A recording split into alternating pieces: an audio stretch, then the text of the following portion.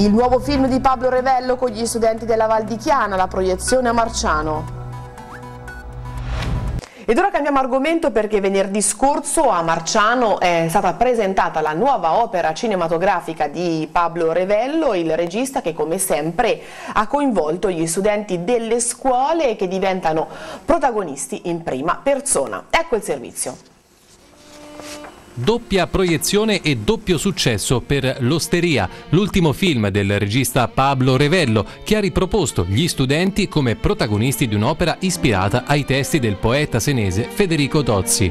In prima linea i ragazzi della classe seconda della scuola media di Marciano. Ha affrontato eh, appunto le novelle di Tozzi in una maniera inedita con personaggi, paesaggi e caratteristiche della eh, provincia senese e aretina di fine Ottocento, inizio Novecento. Alla proiezione è intervenuta anche Silvia Tozzi, nipote dello scrittore senese, uno dei massimi narratori del Novecento italiano. E ha approvato il nostro lavoro e ha fatto questa osservazione.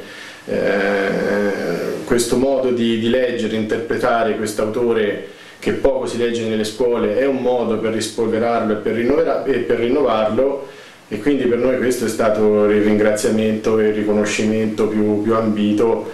Colgo l'occasione anche per ringraziare proprio, proprio tutti quanti quelli che hanno collaborato alla fattiva eh, realizzazione di questo lavoro che per noi è importante perché non c'è solo l'aspetto didattico ma anche quello eh, culturale, turistico per valorizzare quelli che sono i nostri territori. Ma i protagonisti sono stati loro, gli studenti dell'istituto di Lucignano e Marciano. Per loro c'è stato un grande impegno. Il mio personaggio Olivia fa parte dell'episodio Cornice che è l'episodio che collega fra tutti eh, gli altri episodi eh, il mio personaggio è un personaggio molto chiuso e come anche gli altri della storia porta dentro di sé diversi tormenti e sentimenti contrastanti. È stato molto difficile perché ho avuto un modo di interpretarlo molto, cioè, era molto difficile.